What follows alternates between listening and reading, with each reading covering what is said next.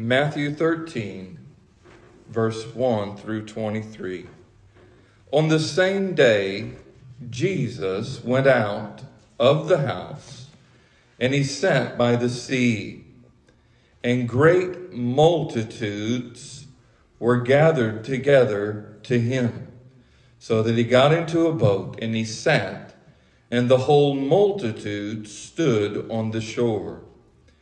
Then he spoke many things to them in parables, saying, Behold, a sower went out to sow. And as he sowed, some seed fell by the wayside, and the birds came and devoured them. Some fell on stony places, where they didn't have much earth, and they immediately sprang up, and because they had no depth of earth. But when the sun was up, they were scorched because they had no root, and they withered away. And some fell among thorns, and the thorns sprang up and choked them. But others fell on good ground and yielded a crop, some a hundredfold, some sixty, some thirty. He who has ears to hear, let him hear.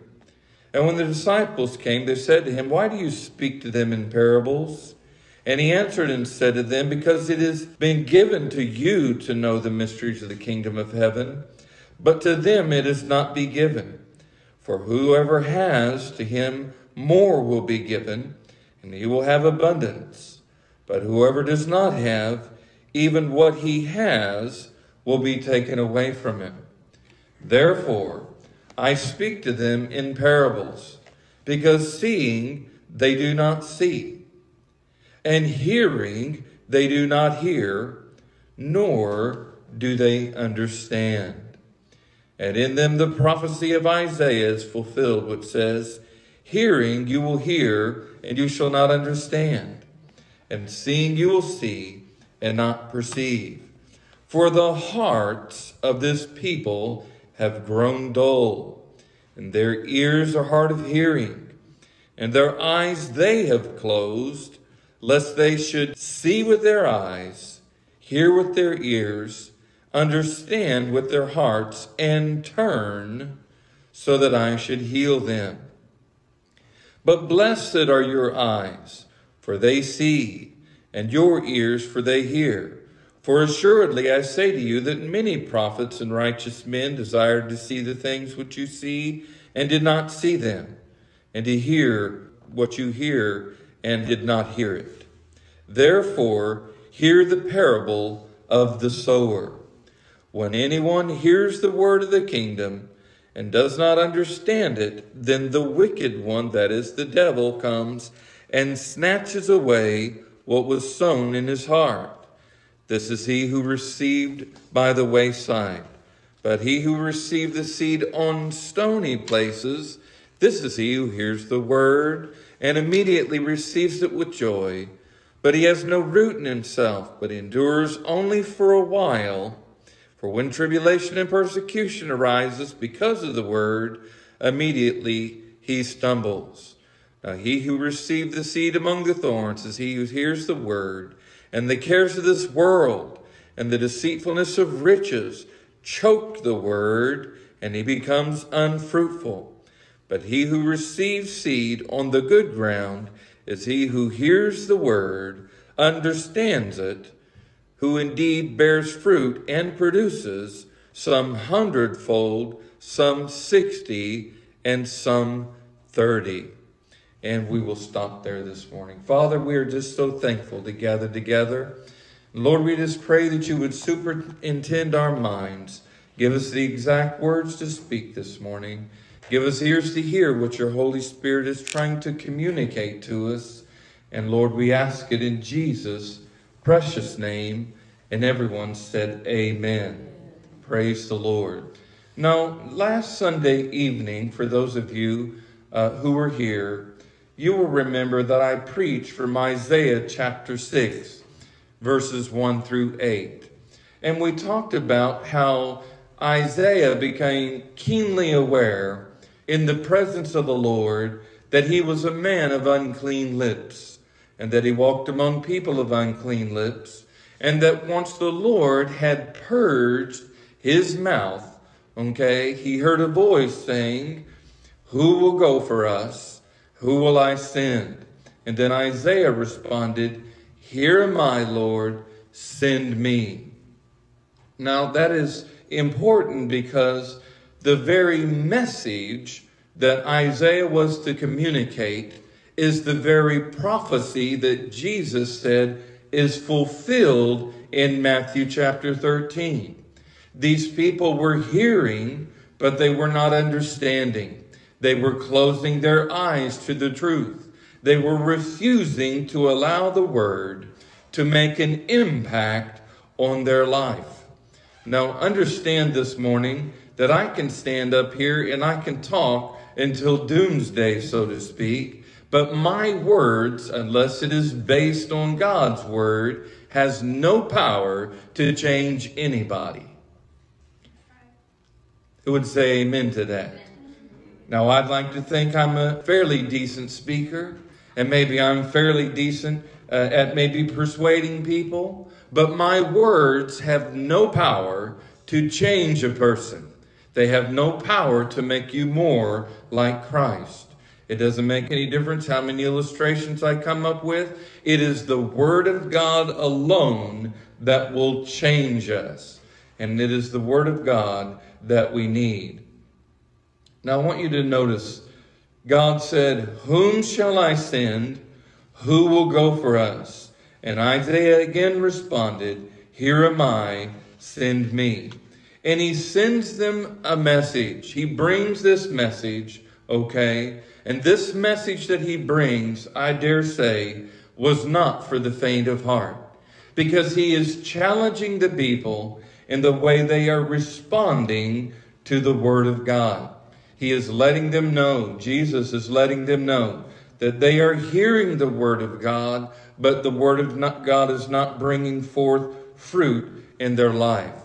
I was talking about our to our sister this morning about some of the things going on, she talks about uh, some of the things that happen on their farm. But I will tell you this, or maybe I'll just ask it as a question. Why does a farmer plant his seed?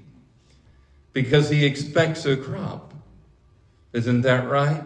When we're driving down I 29, we were looking just this morning. My wife looked over and she said, What's that over there? It was something real bright yellow. I said, I have no idea. It might be soybeans, might be alfalfa. I'm not a farmer. I don't know. But I'll tell you this the farmer planted it because he expected a crop, he expected something to come forth. And when God sends his people, and he, when, when Jesus himself was sowing the word, he expected that that word would bring forth fruit some 30, some 60, some hundredfold in the life of the people who were hearing. You see, Jesus again was quoting Isaiah chapter 6, verse 9 and 10. Now, the consequence of having God's word and not responding rightly is to harden our heart before the Lord. Now, I heard our, our, our pastor Birch years ago, and I remember him saying this many times. I understand that he was 30 odd years in the pulpit in the home church, and I sat behind him, and I couldn't even begin to count how many messages I heard him preach. But I heard him say this many times. He said, One of these days, I'm going to preach a message called Gospel Hardened. Gospel Hardened. You know, saints, you can hear something so many times that it just kind of goes in one ear and right out the other. And we don't allow God to truly deal with us regarding His Word. Our heart can become hardened. Think about this morning all the messages that you have heard in your lifetime. Think about it. Think about how many times you have been in God's Word. Maybe think about times you've heard a message on the radio, or maybe you saw something on television. And when you were listening to, to that word, or you were reading in God's Word, God showed you something about your life, Or maybe he showed you something about your personality and character, and he is wanting to change it. He's wanting to make an alteration. I remember when we lived in uh, uh, Independence and where we raised all of our children, we had a yard out front, and, and I tell you what, I must have sowed probably a hundred pounds of seed, maybe more than that, on that front yard over the over the course of many years. And it was a tiny little yard. But there was a big, massive tree that must have been probably six feet in diameter. I mean, it was so big it would take three or four people to get your hands around it. That sat right in the middle, and I could never get anything to grow in that yard. You see, there was something there that was taking away the nutrients, taking away the sunlight, taking away the water that the grass seed needed in order to grow. And a lot of times I was kind of careless. I would just go out there, well, if you know, if I just put maybe 10 pounds down this time, at least we'll get something. No, I think the birds got something, but I doubt that, that the yard didn't get much. And the yard was, was almost dirt at one time, and it was a very frustrating situation. But I read a passage of scripture in the Old Testament. The prophet is telling the people, he is saying, Break up your fallow ground, for it is time to seek the Lord.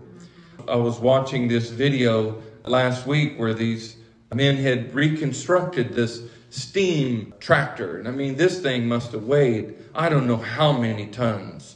And they set a new world record for the most plows I guess it would be the, the actual plow portion, there's a name for it, uh, on one plow that had ever been plowed. I mean, it was like he was pulling a trail that looked like it was probably 40, uh, 40 yards wide as he was pulling with this massive steam vehicle. You say, well, why were they doing it?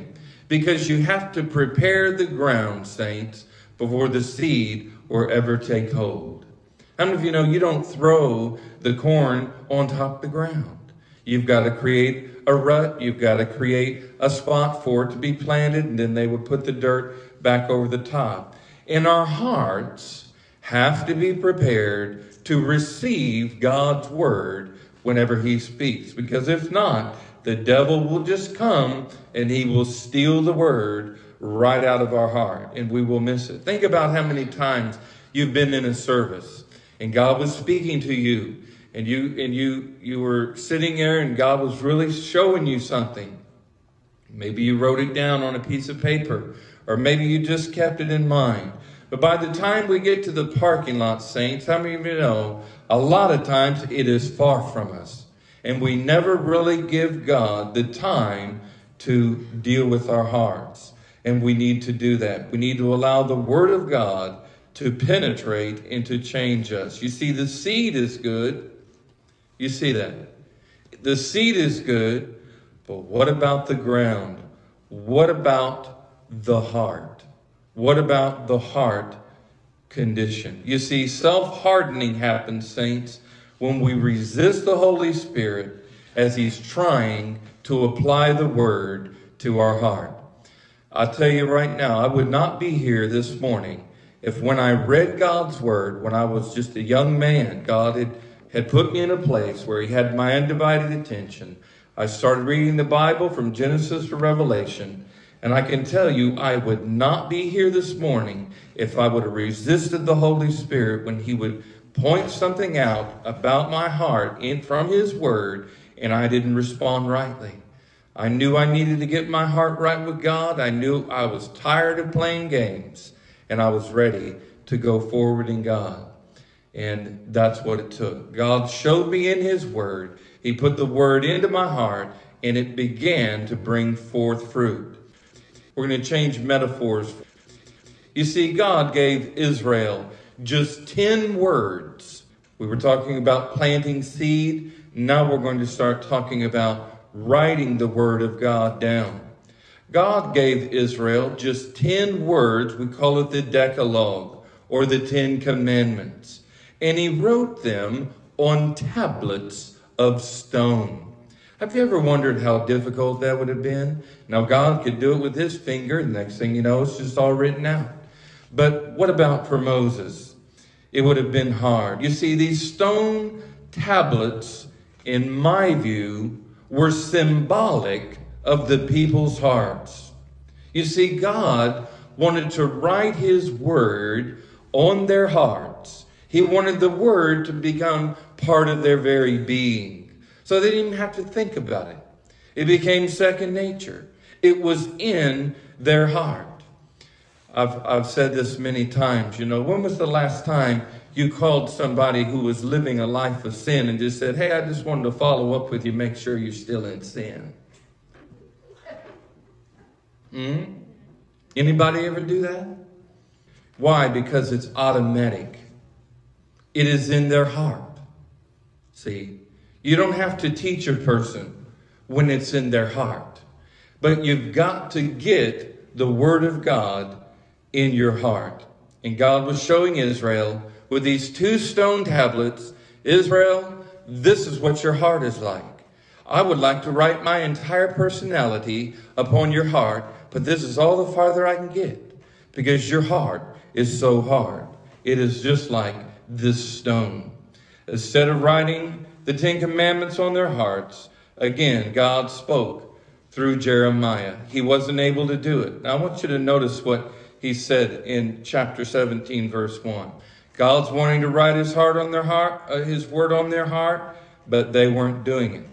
Rather, the sin of Judah, Jeremiah 17, 1, is written with a pen of iron and the point of a diamond. It is engraved upon the tablet of their heart. This is what God told their heart was so hard. Their heart had been hardened in, and sin had been written on it as if you had etched it with a metal utensil that had a diamond tip. That was God's explanation. That was his revelation to their situation. You see, saints, you do what's written on your heart. That's what you do. If you continue doing something over and over again, you will inscribe that behavior on your heart and it will become normal to you. How many of you have ever been around somebody that they, they may not have even been mad, but they just snapped at you every time they answered you? It was a habit. They didn't maybe mean nothing by it. But they had done this over and over and over until it just became part of who they are. Some people, no matter what the sin is, they keep doing it over and over again until just like a diamond on the tip of a metal pen, it's been written into their heart, and their heart needs. I remember when I was a kid that my mom would do ceramics, and I remember doing ceramics at school, and they would give us this ball of clay, and they would say, okay, you know, form it into whatever you want to form it, write on it whatever you want to, but be sure and do what you're going to do before it hardens because after that it's too late. How many of you know that it's too late once it hardens? And once our heart gets hardened, saints, we are no longer pliable in the hands of God. You can sit through a thousand messages if your heart is hardened, and it will do you no good. It will have no impact. You can go for 20, 30, 40, 50 years and become no more Christ like than you were just months after you got saved if your heart is not ready to receive God's word. I remember Brother Birch talking about people saying, Well, I've been saved for, for 50 years or 40 years. He said, But a lot of people have a one year experience 50 times over. They never go forward in God they never become what God wants them to be. They're no more Christ like today than they were years ago. Saints, listen, if the Lord spares my life ere many years, I want to be more Christ like 30 years from now than I am today. Who would agree? Not less. I don't want to get older and older, and the next thing you know, I'm this mean, grumpy guy that every time you talk to him, he barks back at you. I want to be more Christ like than I was then. I look back over my life when I was a young man, a young Christian. I used to think, wow, I was really on fire for God. But then I would think, oh, boy, I didn't react to that situation very good. I wouldn't have done that now, what I did then. You see, so I can see where I have grown in the Lord. And I want to continue to grow in the Lord until the Lord takes me home.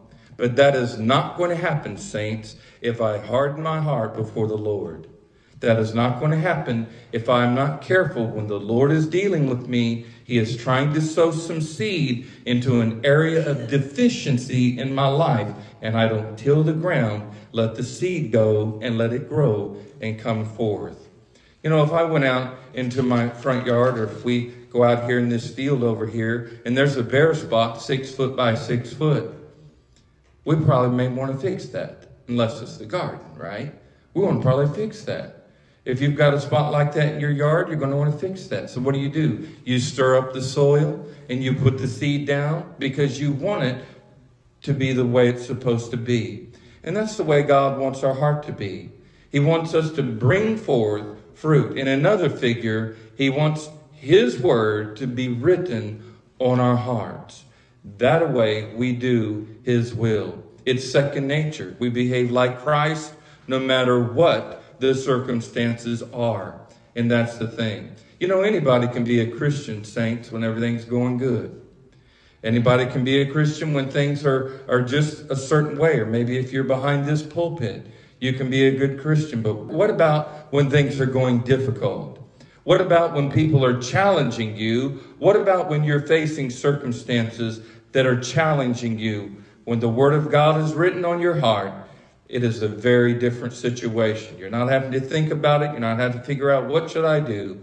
You're responding because God has changed you into his image. So what ended up happening? The people's heart got hard. They got hardened in sin. And then the next thing you know, they were no longer pliable.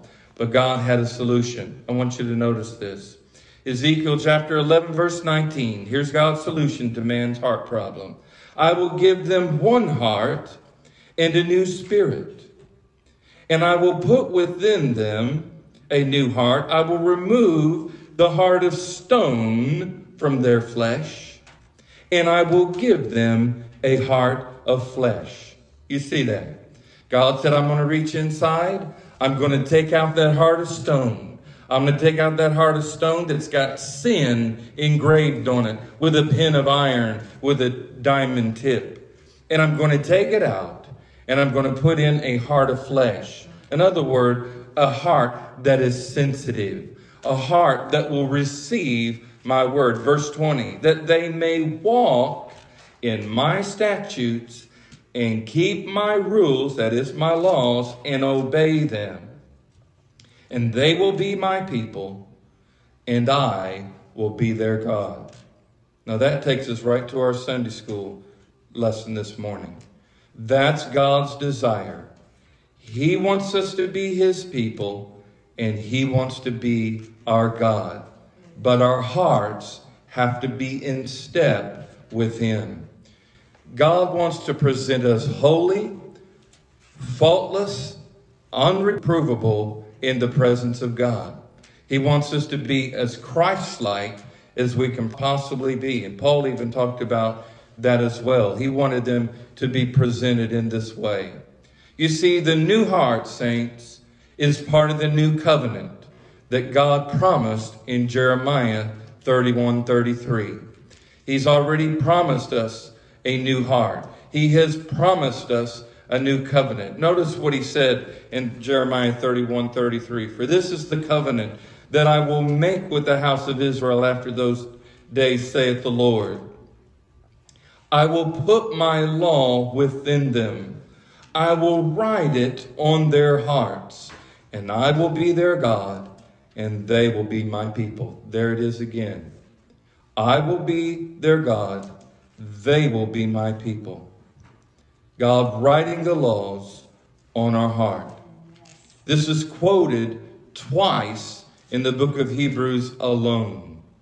Hebrews chapter 8, verse 10, Hebrews chapter 10, verse 16. This desire of God, this new covenant that we are under, enables us to have a new heart, a new spirit, and God writing his law on our heart by the Holy Spirit so that we can be like Jesus. That's the intention. You see, God said, I will write my law. I will write it in their heart and in their mind. You see, the outcome of this process is that we will walk in God's personality and disposition. We will walk out God's ways. There's a way that seems right unto man, but the end thereof is the ways of death. God has a disposition, God has a personality, He has a way about Him, and God is trying to form us into that image. The Bible talks about us being changed into that image from glory to glory, even by the Spirit of God.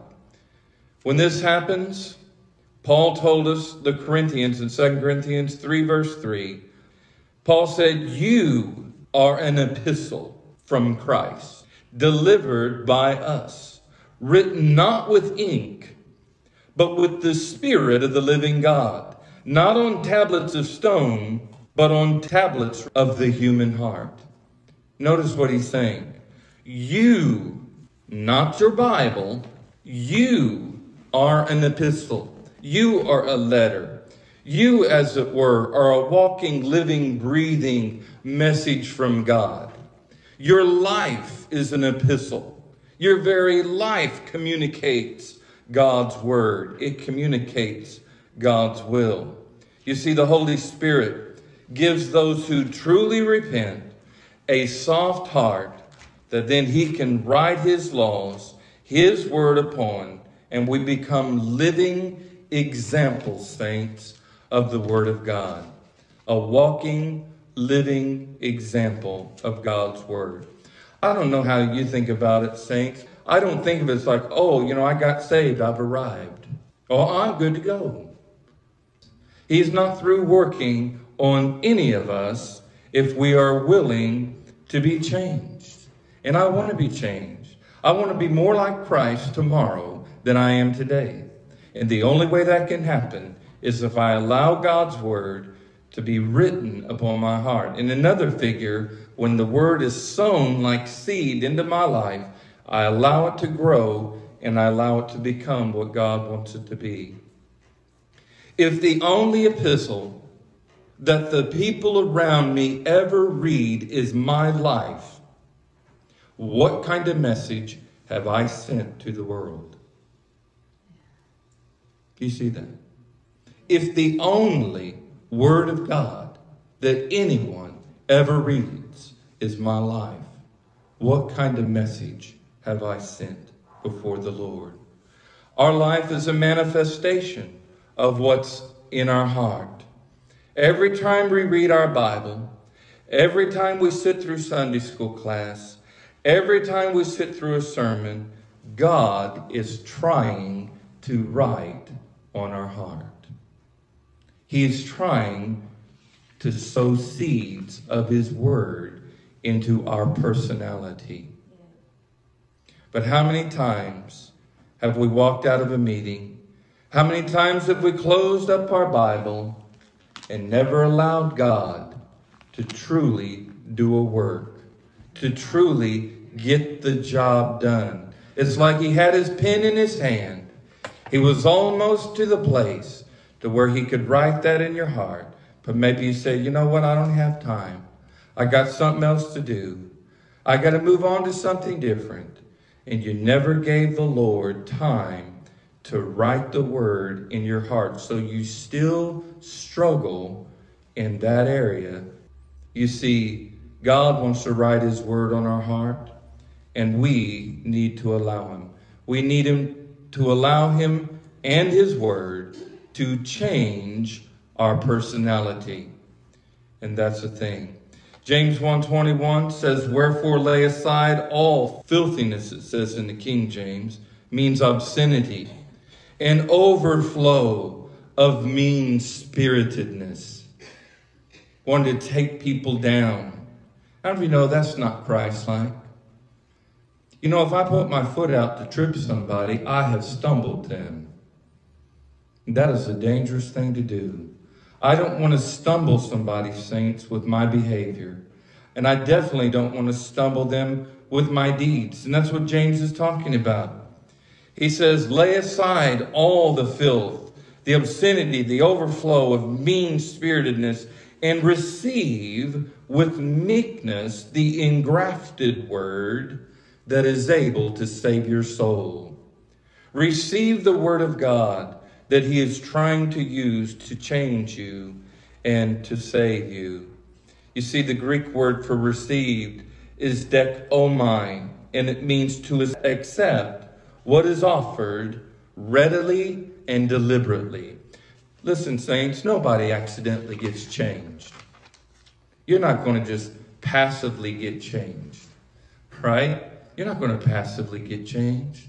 It's going to have to be something that we actively do. We have to determine in our heart and our mind that I'm going to allow God to do a work in my life. We have to be ready to hear God's word. And again, we have to deliberately receive it. We can't be passive. We have to meditate on His Word. We have to ponder His Word. We have to think about His Word and allow God to apply it to our heart by His Holy Spirit. There is no other way for us to be changed. You see, far too often, saints, we're like the person in James.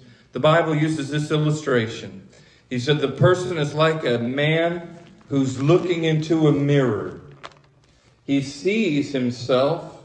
We look in the Word, and God shows us what we look like in the eyes of God. Amen. And we have an opportunity to make corrections, to make alterations. But the person in James, the Bible said, he sees himself, goes his way, and immediately forgets what he looks like. They forget almost immediately. You see, God is trying to show us what we look like before we forget.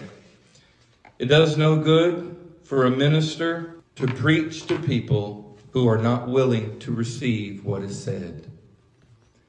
I like to preach, but I'm like a farmer. I like to see results. Amen? I want to see results. People will get hardened in what you're saying, and you will lose your effectiveness. You will not be effective for God. Why did the farmer plant the field? I already asked it. Because he wanted a hundred percent. You know, saints, I tremble to think, I'll tell you this. I tremble to think how many sermons I've heard in my life. I did a calculation when I was preparing this message that I believe I have heard somewhere in the order of 10,000 sermons in my lifetime. 10,000. That was 10,000 opportunities for God to change something in me.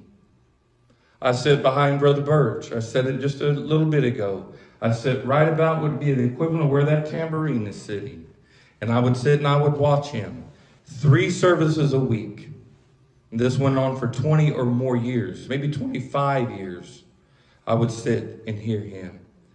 And God would speak to my heart. And I tremble to think how many times I walked out and just straightway forgot what God was saying to me. No telling where I may be today in my spiritual walk if I would let God deal with me during those times. You see, there are a lot of chances that we have in this life to receive the engrafted word. A lot of chances for the Holy Spirit to change me.